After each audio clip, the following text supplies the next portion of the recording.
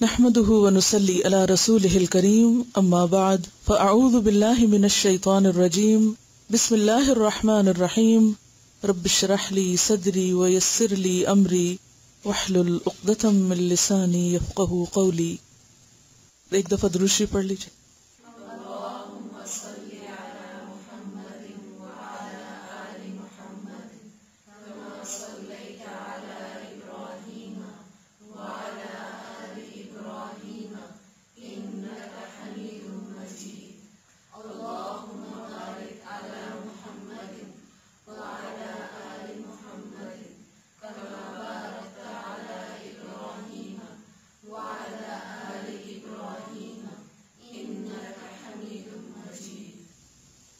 पढ़ रहे हैं दुरूशी जुमे का दिन है। कोई दलील है जुमे के दिन दुरूशी पढ़ने की? हदीस की मजलिस है और नबी सल्लल्लाहु अलैहि वसल्लम का ज़िक्र बार बार आ रहा है और उसमें ख़ास तौर पर, शौरी तौर पर दुरूशी पढ़ने की कोशिश जो है, वो उस एहसास को ताज़ा करती है कि हम किसके साथ हैं, यानी इल्मी तौर पर, कल्बी तौर पर। उनके जो एहसानात हैं हम पर, उनका बदला तो हम नहीं दे सकते सिवाय इसके कि हम दुरू शरीफ की शक्ल में आप पर दुआ खैर करके कुछ इस काम में शरीक हो जाए हा? फिर पढ़ी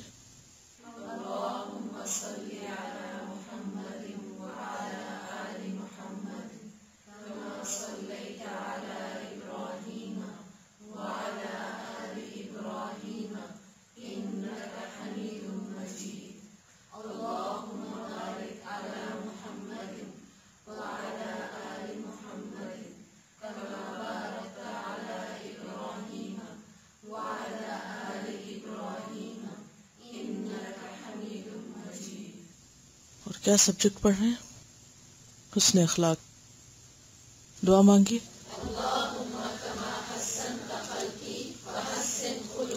दूसरी दुआ भी।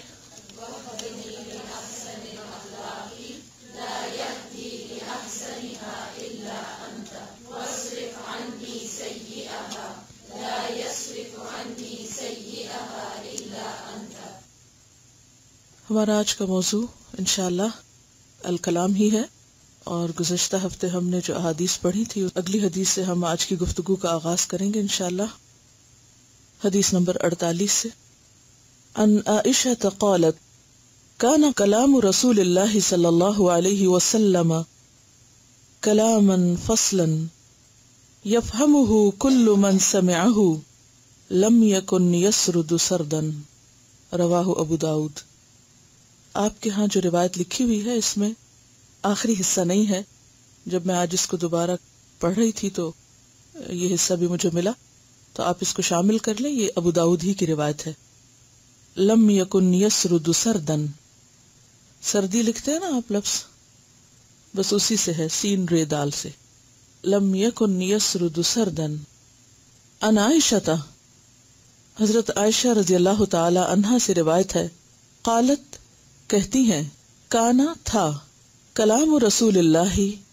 रसूलुल्लाह सल्लल्लाहु का कलाम, कलामन फसलन, कलाम जुदा जुदा, बात वाजे साफ़, फ़सल, यानी हर लफ्ज दूसरे से अलग। यफहमुहु, समझ लेता था उसको, कुल्लु मन समअहु हर वो शख्स जो उसको सुनता था। यानी आपको सुनने वाला हर शख्स, हर दर्जे, हर जहनी लेवल और हर बैकग्राउंड का शख्स आपकी बात समझ जाता था। वलम यकुन यसरुदु और आप बात को तूल न देते थे। मुख्तसर बात होती थी आपकी, लंबी बातें नहीं करते थे। रवाहु अबू दाऊद। इस बात की वजाहत एक और हदीस करती है हज़रत आयशा रज़ी अल्लाह अन्हा की, कान युहद्दिसु हदीसन, लौ अद्दहु लअद्दु लअहसाहु। क्या माना है कि आप सल्लल्लाहु जब कोई बात बयान करते बात होती, लौ अद्दहु लअद्दु अद्दहु का क्या माना गिनता उसको। अलाद गिनने वाला। गिनने वाला अगर उसको गिनता तो क्या होता? लादहू, उसको गिन सकता था कि आपने एक मौके पर कितने अल्फाज पर मबनी बात की है। हम अपना जायजा लें? हम्म? क्या ख्याल है? कितना जायद बोलते हैं? कितना फालतू? हज़रत आयशा ही रिवायत करती हैं। असल में ये रिवायत एक तवील रिवायत का कुछ हिस्सा है कि एक शख्स आया और आपके हुजरे के बाहर बैठकर नबी सल्लल्लाहु अलैहि वसल्लम की कुछ बातें बयान करने लगा। हज़रत आयशा उस वक्त नवाफिल पढ़ रही थी। कहती कि कुन तो उसब्बिह तस्बीह कर रही थी और तस्बीह का मतलब यहाँ तस्बीह पकड़ के तस्बीह करना नहीं बल्कि नमाज़ पढ़ना है। यानी नमाज़, नफल वगैरह पढ़ पढ़नी थी। तो वो उस शख्स को कुछ समझा ना सकी। इससे पहले कि वो उससे बात करती, वो जा चुका था। अब ज़ाहिर है कि उसकी बातें दूसरे लोगों ने सुनी। तो उस मौके पर हज़रत आयशा बस इतनी बात करती हैं कि इन रसूल अल्लाह सल्लल्लाहु अलैहि वसल्लम लम यकुन युसरदुल हदीस कसर दिकुम कि आप सल्लल्लाहु अलैहि वसल्लम तुम लोगों जैसी लंबी लंबी बातें नहीं किया करते थे। यानी तुम उनके कैसे फॉलोअर्स हो? कैसे इत्तेबा करने वाले हो? कि आपके कलाम में तवालत नहीं होती थी। क्योंकि किसी भी बात में ज़्यादा तवालत, लंबी बात बात का असर भी खो देती है और उसके साथ साथ दूसरों के ऊपर बोझ भी बन जाती है। दूसरे को समझने और सीखने में भी मुश्किल पैदा होती है। क्योंकि आप सल्लल्लाहु अलैहि वसल्लम एक मुअल्लिम थे। इन्नमा बुइस्तु मुअल्लिमन। और मुअल्लिम का काम क्या होता है? कि वो दूसरे को जो सिखाना है सिखा दे। और आप सब जानते हैं कि उस दौर में कागज़ कलम नहीं थे, लिखने पढ़ने की सहूलतें नहीं थी, लिखी हुई चीज़ें नहीं मिलती थी रिकॉर्डेड चीज़ें नहीं मिलती थी। लोग जो कुछ सीखते, सुनते, वो एक ही बार उन्हें सुनना होता या दो बार या तीन बार तो सुनकर उन्हें याद भी करना होता था। क्योंकि आपकी बातें कोई आम बातें तो नहीं थी। अगर आप हम जैसी तवील बातें करते तो उन्हें कौन याद रख सकता? और अगर याद ना रख सकते तो फिर हम तक वो सब कुछ कैसे पहुँचता? और अगर किसी तरीके से पहुँच भी जाता तो आज के मसरूफ तरीन दौर में सारी सहूलतों के बावजूद किसके पास वक्त होता कि उनको पढ़ सकता, या सीख सकता, या जान सकता? आज भी हम में से कितने लोग नबी सल्लल्लाहु अलैहि वसल्लम की की हुई बातें सारी जानते हो? कितनी मालूम है? सोचिए, कितने फ़ीसद? मुख्तसर तरीन कलाम के बावजूद हदीस नबी सल्लल्लाहु अलैहि वसल्लम का कितने फ़ीसद हिस्सा हम जानते हैं? नहीं जानते। तो अगर वो तवील होता तो और ज़्यादा मुश्किल हो जाती। हज़रत जाबिर कहते हैं, ये आपके साहबा हैं, आपके साथी हैं जो आपकी गुफ्तगु के बारे में आगे लोगों को बताते हैं। हज़रत जाबिर कहते हैं, काना फ़ी कलाम नबी सल्लल्लाहु तरतील औ तरसील काना फ़ी कलाम ही तरतील औ तरसील क्या माना तरतील का क्या माना ठहर ठहर के किसी चीज़ को पढ़ना और न सिर्फ़ ये कि ठहर ठहर के पढ़ना बल्कि हर लफ्ज को वाजह करके अदा करना उसकी हरकत और उसके मखारिज के साथ यानी पूरी तरह वाजह भी करना और आहिस्ता भी बात करना तरतील का माना तन्नी भी होता है तमहुल भी होता है तन्नी का मतलब होता है टाइम लेके बात करना ठहर ठहर के बात करना, और हरूफ और हरकत को वाजे करके बात करना। कैसे? ठहर के बात करना और हरूफ और हरकत को वाजे करके बात करना। ये था आप सल्लल्लाहु अलैहि वसल्लम का कलाम। और इस हदीस में भी क्या आता है? काना कलाम अलैहि वसल्लम कलामन फसलन यफहमुहु कुल्लु मन समिअहु अब जरा अपना जायजा लेते हैं हम। अपने आप से पूछिए, क्या मैं वाकई इस अंदाज में बात करती हूँ कि बात दूसरे को समझ आ जाए? क्या हम इसकी शौरी कोशिश करते हैं? और आपको मालूम है कि जब कम्युनिकेशन दुरुस्त नहीं होती तो सारे झगड़े पैदा होते हैं, सारी मुश्किलात पैदा होती हैं। हम जब कहना कुछ चाहते हैं, कहते कुछ और हैं या वाजे तौर पर नहीं कहते तो सुनने वाला भी उसको दुरुस्त नहीं समझता। जब आप कहना कुछ और चाह रहे हैं और सुनने वाला उसको कुछ और समझ रहा है तो यहीं से एक इख्तलाफ पैदा हो जाएगा, यहीं से मुश्किल पैदा हो जाएगी। और फिर वो मल्टीप्लाई हो सकती है। और उससे फिर ताल्लुकात भी खराब होते हैं। और उससे फिर बात का बतंगड़ बन जाता है, बात कुछ से कुछ बन जाती है। और फिर हम उस उलझी हुई चीज़ों को सुलझाने में आधी ज़िंदगी गुजार देते हैं। हमारी ज़िंदगी का एक बड़ा हिस्सा महज मिसअंडरस्टैंडिंग्स को दूर करने में गुजर जाता है। तो क्या ये बेहतर नहीं कि पहले ही दर्जे पर कोशिश की जाए कि मिसअंडरस्टैंडिंग पैदा ना हो? और उसके लिए बेहतर क्या है कि बात इस अंदाज में करें कि दूसरे को समझ आए? और खास तौर पर इस हदीस में कुल्लु मन हर एक समझता था, हर एक समझता था। हमारी बात अगर चंद लोग समझ भी जाएँ तो दूसरे नहीं समझ पाते। क्योंकि हम रियायत नहीं करते दूसरे की केयर नहीं करते, दूसरे का ख्याल नहीं रखते। फ़िक्र है, हमें तो सिर्फ़ अपनी है। दूसरों के लिए जीना तो सीखा नहीं। और गुफ्तगु एक ऐसी चीज़ है जो हम सबसे ज़्यादा दूसरों से करते हैं। किसी के लिए कुछ करें या ना करें, बातें ज़रूर कर लेते। और अगर बातें भी ऐसी हों कि जो दूसरे को फ़ायदा न दें तो हमने अपनी ज़िंदगी से दूसरों को क्या फ़ायदा पहुँचाया? क्या दिया किसी को अगली हदीस देखिए अन अनस अन नबी सल्लल्लाहु अलैहि वसल्लम अन्नहु कान इदा तकल्लम बिकलिमतिन अआदहा सलासन हत्ता तुफहम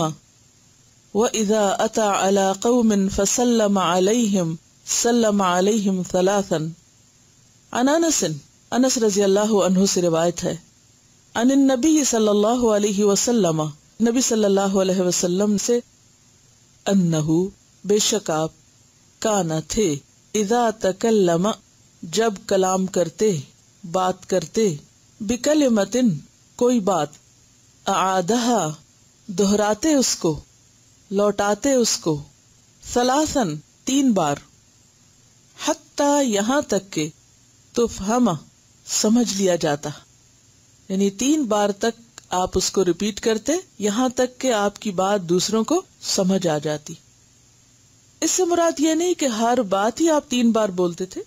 इससे मुराद ये कि जो अहम बातें होती, या जब आप ये महसूस करते कि दूसरा शख्स बात सुनने में मुश्किल महसूस कर रहा है तो उसको तीन बार दोहराते। इसी तरह वो इजा अता अला कौमिन जब आप किसी कौम के पास आते। फसल्लम अलैहिम, फिर आप उनको सलाम करते, सल्लम अलैहिम सलासन तो आप उन पर तीन बार सलाम करते। सूरत नूर की तफसीर में हम पढ़ चुके हैं कि आप जब किसी के यहाँ मुलाकात के लिए जाते तो तीन बार सलाम करते। क्यों? कि अगर एक बार नहीं सुना तो दूसरी बार दूसरी बार, नहीं तो तीसरी बार, और अगर जवाब न मिलता तो वापस लौट आते। जैसे कि कुरान पाक में आता है कि वह इदाकील लकुमरजू फरजू जबान हाल से कोई कहे या जबान काल से कहे। तिरमिसी की रवायत में इस हदीस की मजीद वजाहत मिलती है। हज़रत अनस रज़ी अल्लाह से कि कान इदा तकल्लम सलासन लितुअकल अनहु। कि नबी सल्लल्लाहु अलैहि वसल्लम जब बात करते तो तीन बार दोहराते ताकि आपकी बात समझ ली जाए। गोया आपकी तवज्जो किस पर होती? कि लोग आपकी बात समझ जाएँ, समझाने पर दूसरे की तसल्ली कराते। बुखारी की रिवायत में आता है कि इन माबोस्तु बिजवा में कलम कि मुझे जामे कलिमात के साथ भेजा गया है। तो इन अहादीस से क्या बात समझ में आई आपको? क्या सीखा आपने? मुख्तसर बात करनी चाहिए? वाज तौर पर बात करनी चाहिए? समझाने की कोशिश करनी चाहिए। शॉर्टर टू द पॉइंट और दूसरे समझ जाएँ। यानी मेक श्योर कि दूसरे बात समझें।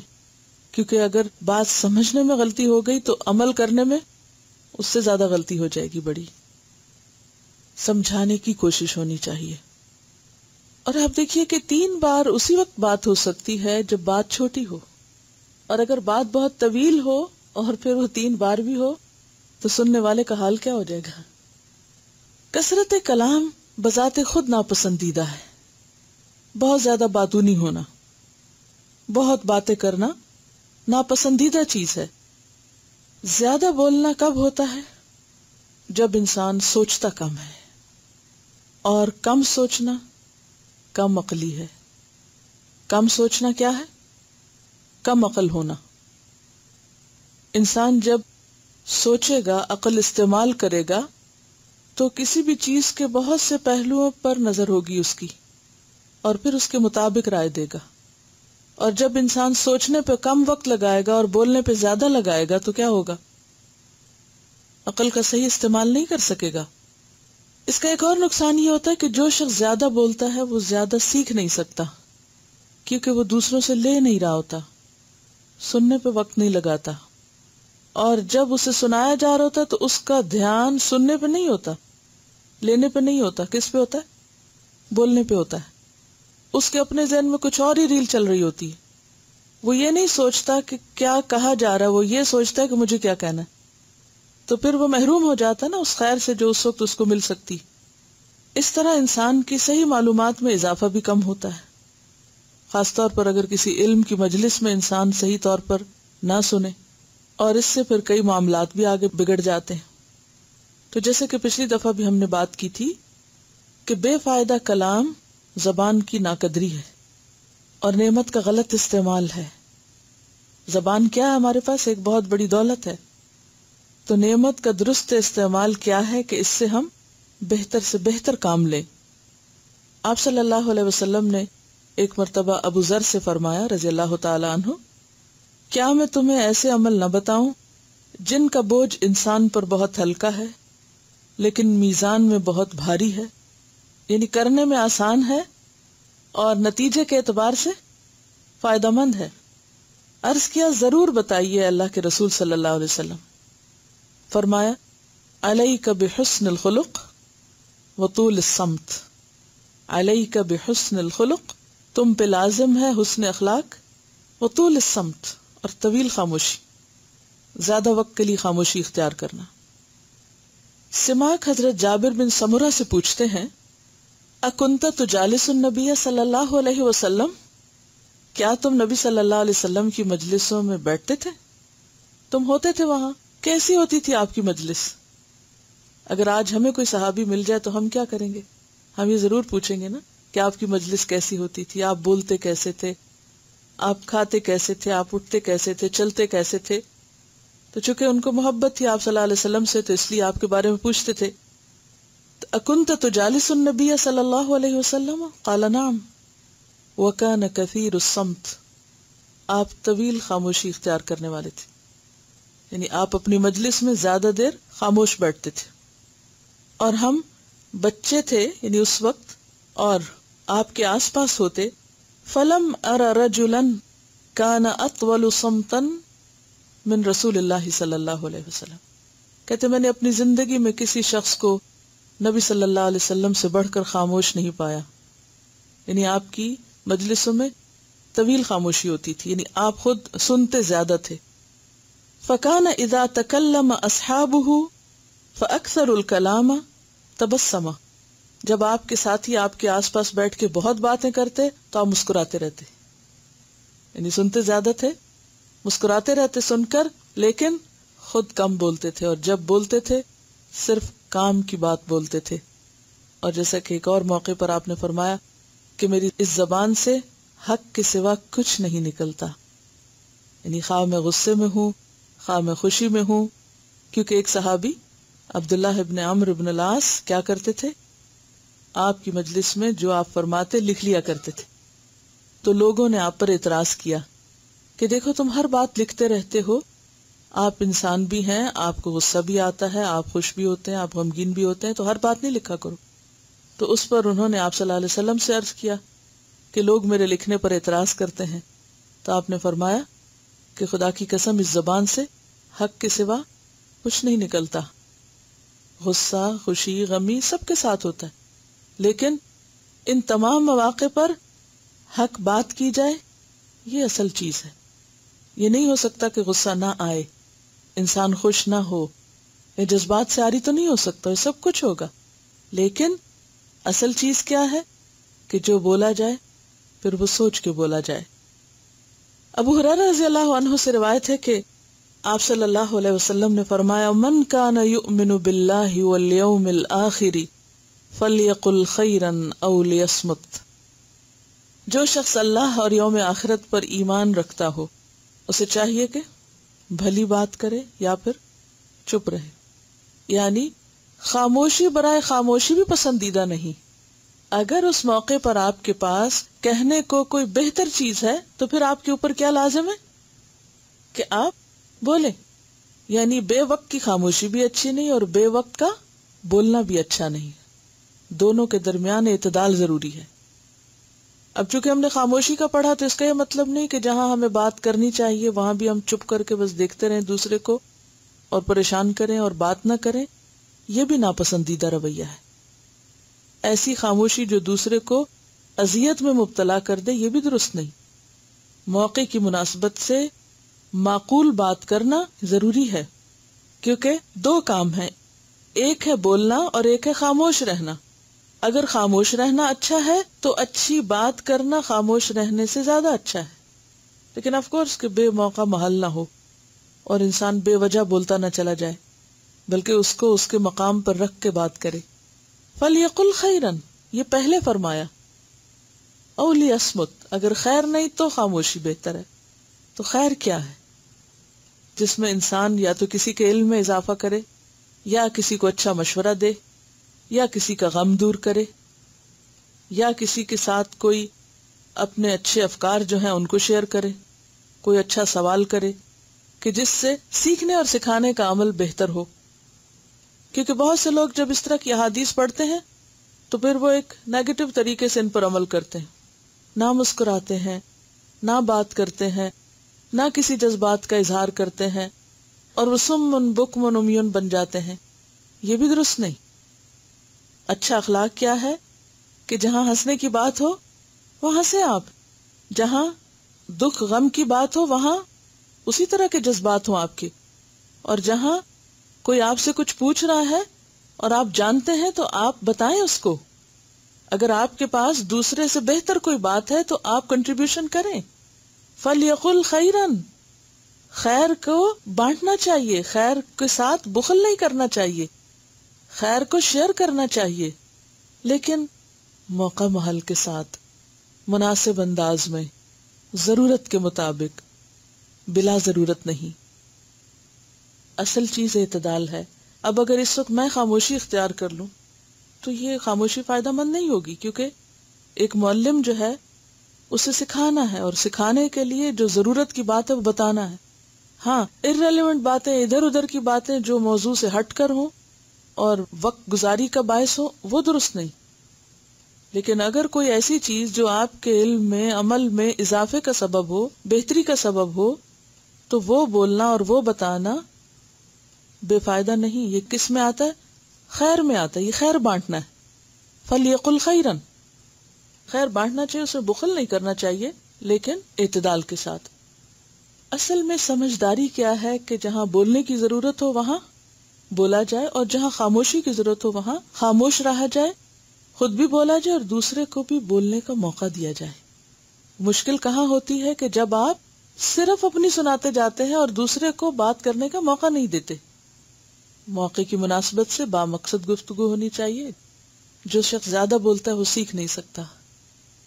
जो हदीस है ना कि फल यकुल खैरन अली असमत तो जिससे कुछ भी भलाई हो खा वो सवाल हो खा वो जवाब हो खा वो मशवरा हो खा वो कुछ भी हो, अच्छी राय हो, उसका ज़रूर इजहार करना चाहिए।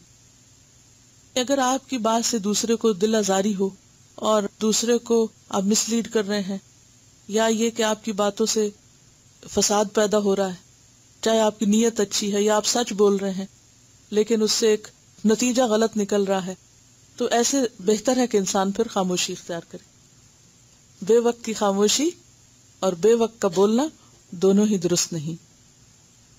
हक बात कहना और सच्चाई की बात करना और उस मौके पे खामोश ना रहना, उसमें सिर्फ़ एक बात ज़रूर सामने रखें कि अगर हक बात बोलने से खैर सामने आ रही हो तो बोले। और अगर हक बात कहने से, यानी उसके नतीजे में एक फसाद सामने आने वाला हो तो उस वक्त पे खामोशी बेहतर है। मौका महल की मुनासबत है, वो भी बेहद ज़रूरी है। बाज लोग खुशी के महफिल में संजीदा होकर मुँह बना के बैठ जाते हैं और जो दूसरों की भी खुशी छीन लेते हैं, ये भी नापसंदीदा है। आप सल्लल्लाहु अलैहि वसल्लम क्या करते? साहबा खूब खूब बोल रहे हैं। आप क्या करते रहते थे? आप सिर्फ़ संजीदा होकर खौफजदा शक्ल बना के नहीं बैठ जाते थे, बल्कि आप मुस्कुराते रहते थे। यानी सुनते रहते थे, मुस्कुराते रहते थे। और जहाँ कोई ऐसी बात होती जो दुरुस्त नहीं होती तो आप बीच में रोक भी देते थे कि ऐसे नहीं, ऐसे कहो। जहाँ इसलाह की ज़रूरत होती, वहाँ इसलाह भी करते थे।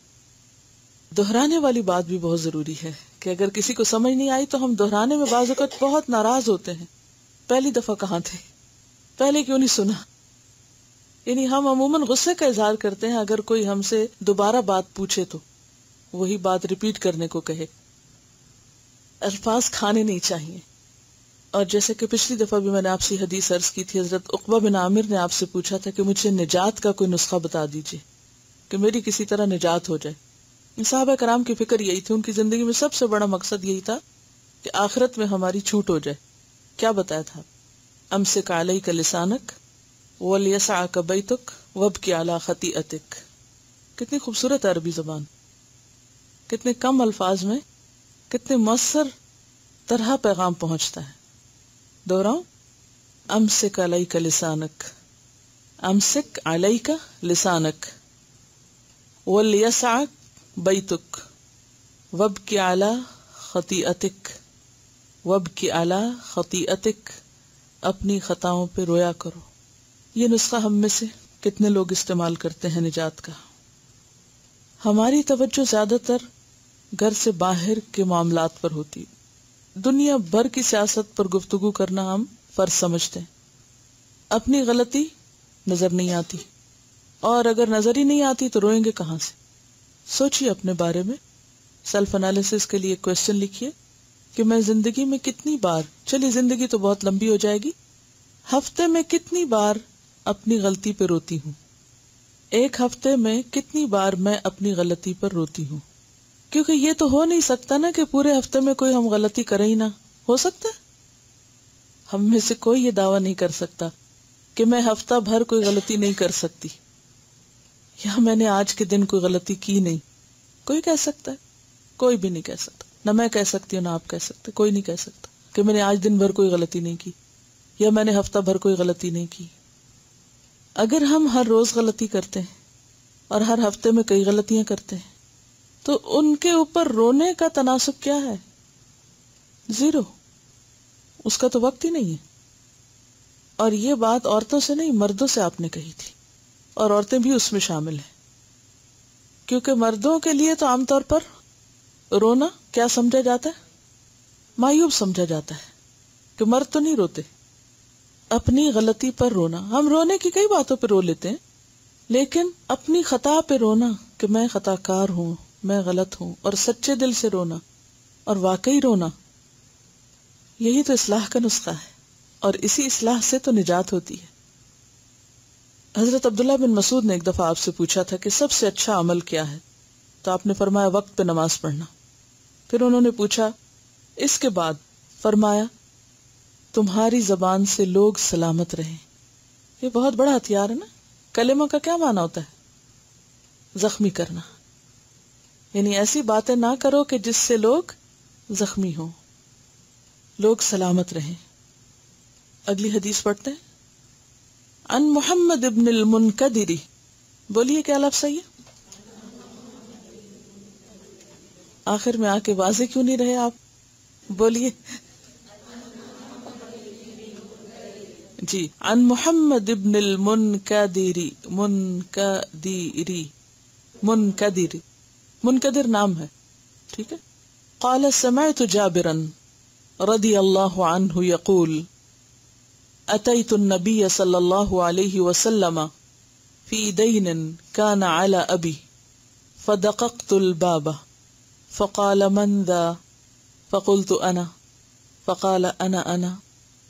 कन्नहु करिहा रवाहुल बुखारी किताबुल अदब अन मोहम्मद इब्न मुनकदर मोहम्मद बिन मुनकदर से रिवायत है काला कहते हैं समय तो जाबिरन मैंने जाबिर से सुना रदी अल्लाह अतई तू मैं आया अन्नबिया नबी सल्लल्लाहु अलैहि वसल्लम के पास फ़ी दईन कर्ज के मामले में काना आला अबी जो मेरे बाप पर था इनके वालिद शहीद हो गए थे और उन पर कुछ कर्ज था फदकतुल बाब मैंने दरवाज़ा खटखटाया फकाला तो आपने फरमाया या पूछा मंदा कौन है?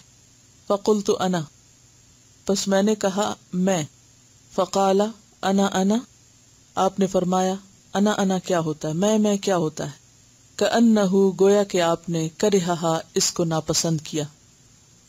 रवाहुल बुखारी आप सल्लल्लाहु अलैहि वसल्लम ने घर में आने वाले की इजाज़त लेने के अंदाज को नापसंद किया और उसकी इसलाह की। मैं सोचती हूँ, साहब कराम का अखलाक और उनके किरदार की अजमत। हदीस रिवायत कर रहे हैं और हदीस में अपनी गलती बता रहे हैं और फिर वो रिवायत, दर रिवायत होती चली जा रही है ताकि वो सब लोगों की इसलाह का ज़रिया बन जाए। क्या हम इतनी हिम्मत रखते कि अगर हमने कहीं कोई गलती की हो और किसी ने हमारी इसलाह की हो और फिर हम कहीं भरी मजलिस में बैठ के ये कहें कि फुला मौके पर मैंने ये गलती की और फुला ने मेरी यूँ इसलाह की। सोचिए, कितनी ज़रूरत की बात है ना? इसी का नाम अखलाक है। किसी कम्प्लेक्स का शिकार नहीं थे। वाजे थे, साफ़ थे, दिल के भी साफ़, कौल के भी साफ़। और उन्हें इस बात से कोई शर्मिंदगी नहीं थी। अपनी जात से दूसरों को भी सिखाया कि मैंने ऐसा किया और आपने ये फरमाया और आपने इसको नापसंद किया। गोया वो अमल जो आपने हज़रत जाबिर के बारे में नापसंद किया, हज़रत जाबिर खुद उसको आगे बता रहे हैं, ताकि कोई ऐसा और ना करे। और इससे सीखने की बात यह पता चलती है कि गुफ्तगु या कम्युनिकेशन जो है, वो वाजे होनी चाहिए, और इतनी वाजे अल्फाज और अल्फाज के चुनाव के एतबार से कि दूसरा शख्स बात पूरी समझ जाए। इस अंदाज में कोई बात नहीं करनी चाहिए कि दूसरा एक हैरानी और परेशानी में रह जाए। मसलन, टेलीफोन पर अपना नाम नहीं बताना और कहना अच्छा आपने पहचाना ही नहीं। या दरवाजे पे आके नाम नहीं बताना। या ये कि मुलाकात के वक्त अपने आप को इंट्रोड्यूस ना कराना और दूसरे से तवक्को रखना कि अच्छा पहचाने आप। यानी दूसरे का इम्तिहान लेना और उसको वहाँ लेट डाउन करना, शर्मिंदा करना। ये भी शर्मिंदा करने में आता है ना? क्या?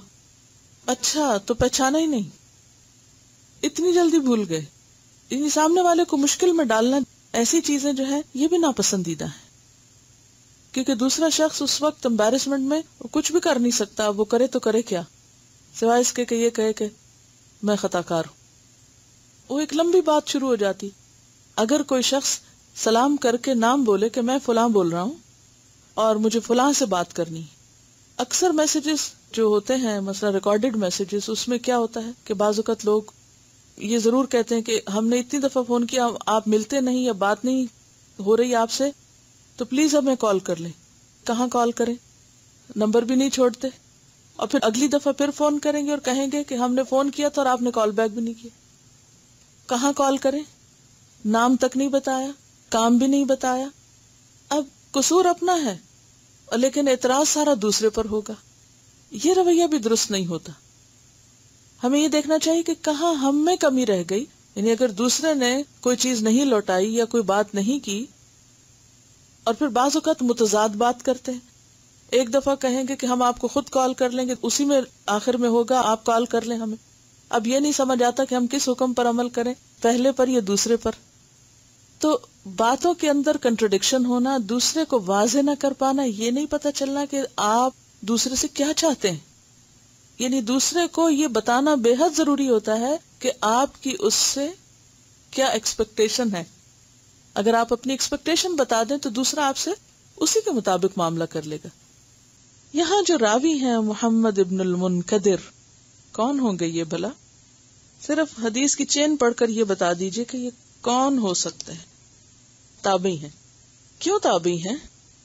ताबी जो सहाबी से रिवायत करते हैं या उनसे मुलाकात करते हैं, जिन्होंने अपनी ज़िंदगी में किसी सहाबी से मुलाकात की हो। उर्वा बिन जुबैर की जब बात पढ़ी थी तो उसमें भी हमने पढ़ा था, मोहम्मद बिन मुनकदर जो है, इनकी कुनियत अबू अब्दुल्ला है।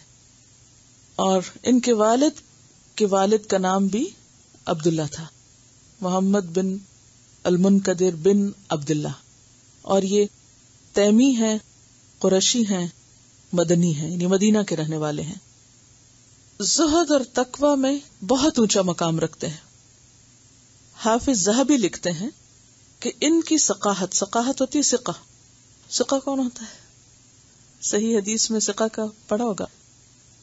इनकी सकाहत और इल्मी और अमली बरतरी पर सबका इत्तेफाक है। यानी इल्म और अमल दोनों में बहुत आगे थे। इब्ने हजर इनके बारे में लिखते हैं कि कुरान के मुमताज़ कारी थे। इमाम मालिक इन्हें सैयदुल कुर्रा कहते हैं। इमाम मालिक कौन है? जानते हैं ना? यानी फोर स्कूल ऑफ़ थॉट्स में जो एक इमाम है, इमाम मालिक, वो इनके बारे में कहते हैं। अब ये किसी आम बंदे की राय नहीं है, इसलिए मैंने इसको दोहराया कि इमाम मालिक कौन है।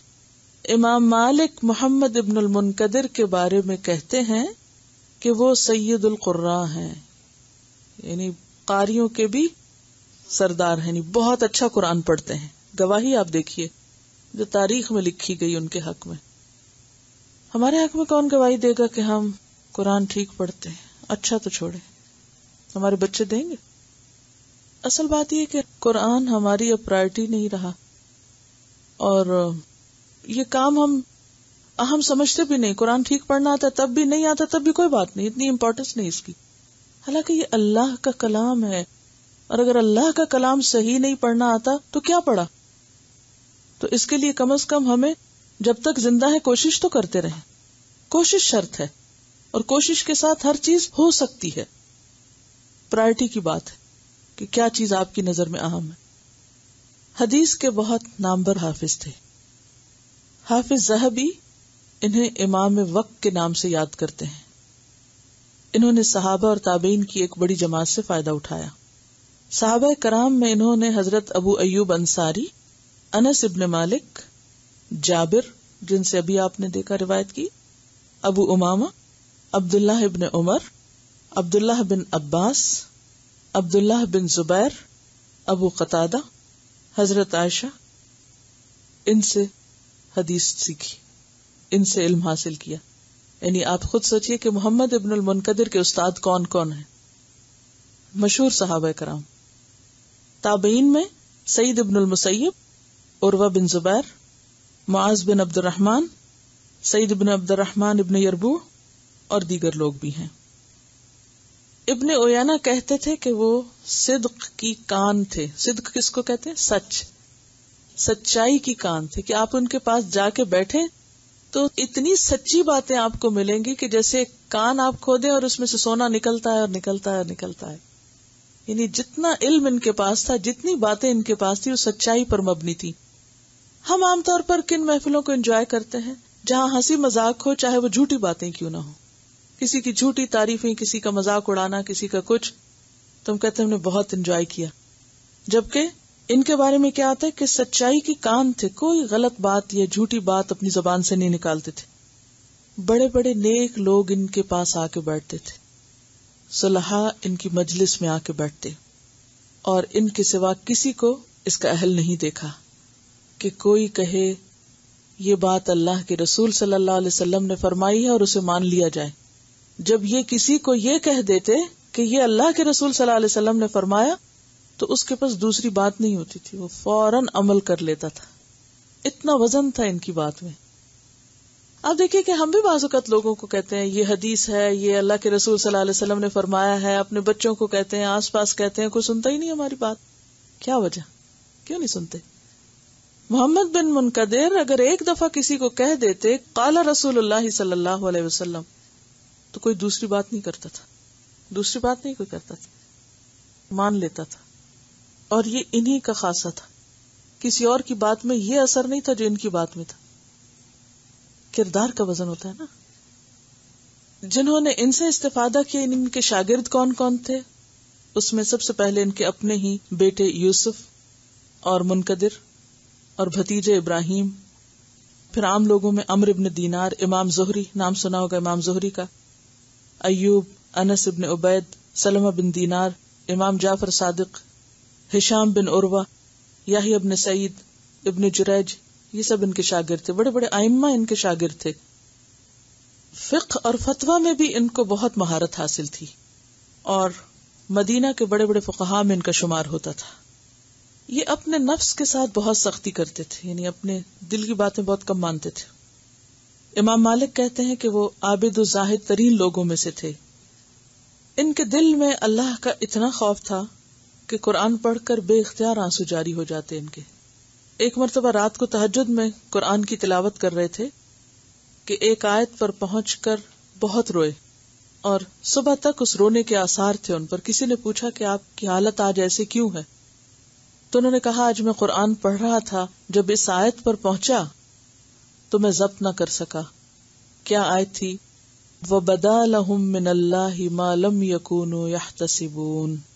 उन लोगों के लिए खुदा की जानब से ऐसी चीज़ ज़ाहिर होगी कि जिसका वो गुमान भी न करते होंगे।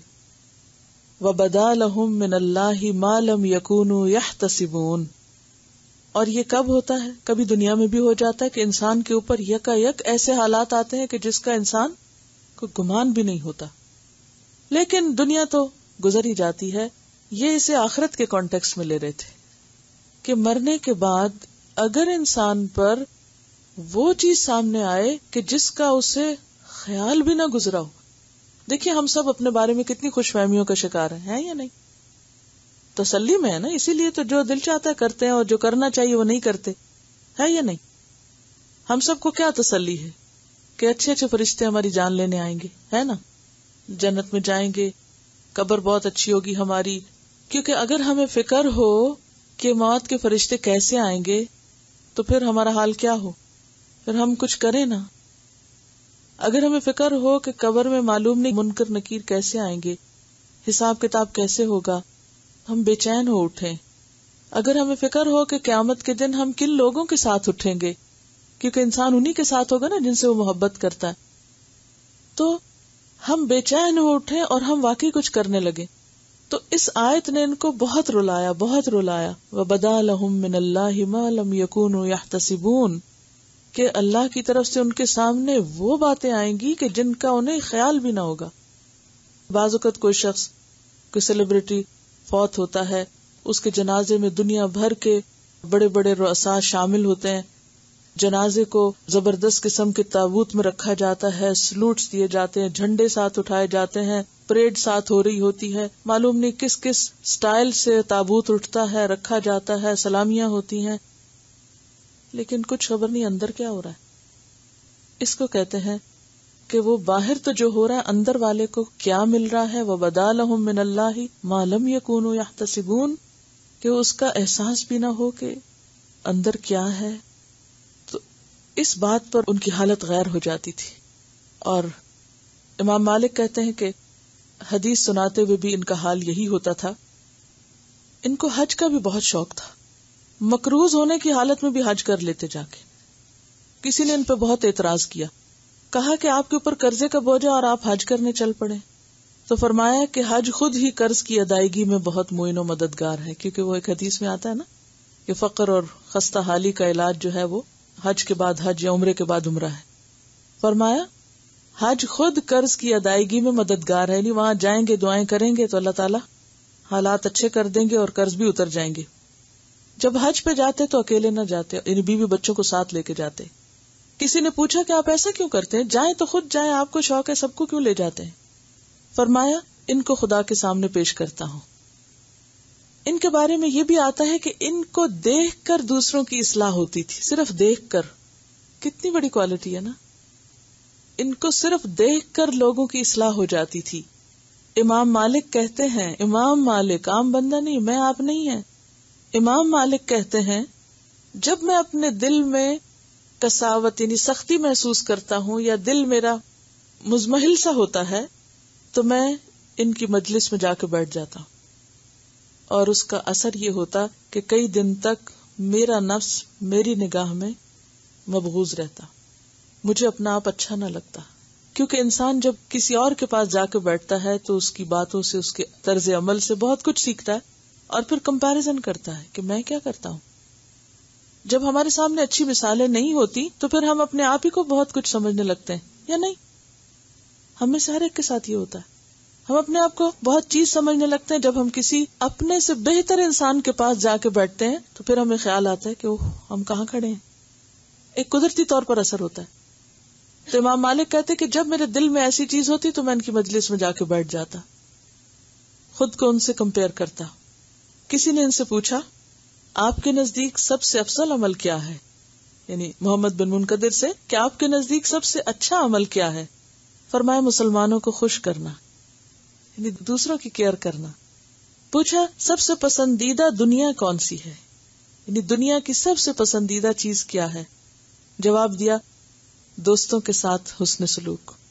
यानी आम लोगों से भी मोहब्बत करते थे, और सबसे ज़्यादा इनके लिए जॉयफुल मोमेंट्स कौन से होते थे? जब ये अपने दोस्तों का ख्याल रखते थे, या दोस्तों की मजलिस में होते। ज़ाहिर है कि सालहीन की मजलिस जो है, या अच्छे दोस्तों की मजलिस जो है, वो दुनिया में जन्नत है। कि जहाँ इंसान अपने गम भूल जाता है, अपने दिल की बातें शेयर करता है, एक दूसरे से सीखता है, सिखाता है। तो ये थे मोहम्मद बिन अल मुनकदिर जो बेहतरीन कलाम का और बेहतरीन रवैये और बेहतरीन मामले का बेहतरीन नमूना थे। चूँकि मौजू बहुत तवील है, इसलिए आज भी मैं जो कहना चाहती थी कह नहीं सकी। इनशाला अज़ीज़, अल्लाह ने अगर चाहा और ज़िंदगी रही तो बाकी हदीसें फिर इनशाला अगली मजलिस में। और अपना वो होमवर्क जारी रखें कि जिसमें मैंने आपसे अर्ज़ किया था कि उन बातों को नोट करें कि जो हमारे अल्फाज के चुनाव में, या हमारे लहजे में, या हमारी बॉडी लैंग्वेज में, और हमारी इंटेंशन में, और हमारे स्टाइल में पसंदीदा नहीं। और इसके लिए क्या बेहतर है कि जब आपको किसी की बात कोई अच्छी ना लगे तो नोट कर लें और फिर आइंदा अपने साथ अहद करें कि मैं ऐसे नहीं करूँगी किसी के साथ। ठीक है ना? वरना तो हमें ये नहीं पता चलता कि अच्छा क्या है, बुरा क्या है। जब कोई हमारे साथ अच्छा करे, उसको भी लिख ले। किसी की कोई बात अच्छी लगे तो अपने पास नोट कर ले और फिर अपने अंदर वो खूबी लाने की कोशिश करें। और अगर किसी की बुरी लगे तो उसको भी नोट कर लें और अपने से वो निकालने की कोशिश करें। ठीक है? तो होमवर्क आपका पिछला ही है। जबानी याद करने की हदीस, अगर यही हदीस आप ले लें कि कान कलाम रसूल सल्लल्लाहु अलैहि वसल्लम कुल्लु मन समयाहु तो इससे क्या फ़ायदा होगा कि हम भी अपने गुफ्तगु के अंदाज के ऊपर मजीद नज़र रखेंगे इनशाला तो आज की मजलिस के हवाले से थोड़ा सा दोहरा दें, याद दहानी के तौर पर, क्या पाया आपने? कोई और अगर कुछ ज़िक्र करना चाहे। कलाम ऐसा रखना चाहिए या बातचीत ऐसी होनी चाहिए कि जिससे माहौल खुशगवार रहे, खुला रहे। यानी तबीयत के अंदर एक घुटन नहीं पैदा हो। और अगर दीन पर अमल करने को दिल न चाह रहा हो तो फिर सालहीन की मजलिस में बैठा जाए, अच्छी मजलिसों में अच्छे दोस्तों के पास बैठा जाए ताकि हमारा दिल नरम हो और दीन की तरफ़ उसकी रगबत हो। बाजुकत हम ऐसे लोगों की मजलिस में होते हैं कि जिनका अंदाज या जिनका तरीका दुरुस्त नहीं होता तो हम उससे इन्फ्लुएंस हो जाते हैं। बजाय इसके कि हम उनको इन्फ्लुएंस करें, उनसे गलत बातें सीख लेते हैं। तो इससे भी परहेज करना चाहिए।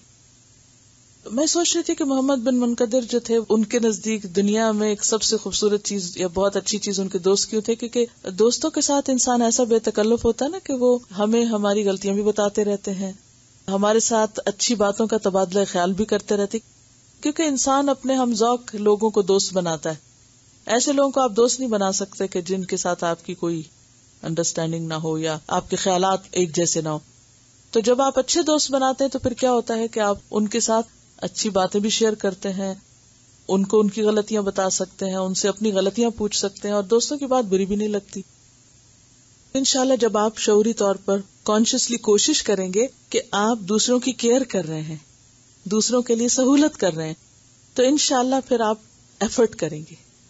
हम दुनिया में हर अच्छी चीज़ के लिए एफर्ट करते हैं ना? अपने लिबास में, अपने स्टाइल में, अपनी हर चीज़ को बेहतर से बेहतर करने की कोशिश करते हैं अप टू डेट करते हैं। तो इनशाला जब सुन्नत और सीरत हम पढ़ रहे हैं तो उसकी रोशनी में भी हम अपने स्टाइल को कोशिश के साथ बेहतर करेंगे इनशाला सुबहान अल्लाहमदिक नशहदु अल्ला इलाहा इल्ला अंता नस्तगफिरुका व नतूबु इलैक अस्सलाम वालेकुम व रहमतुल्लाहि व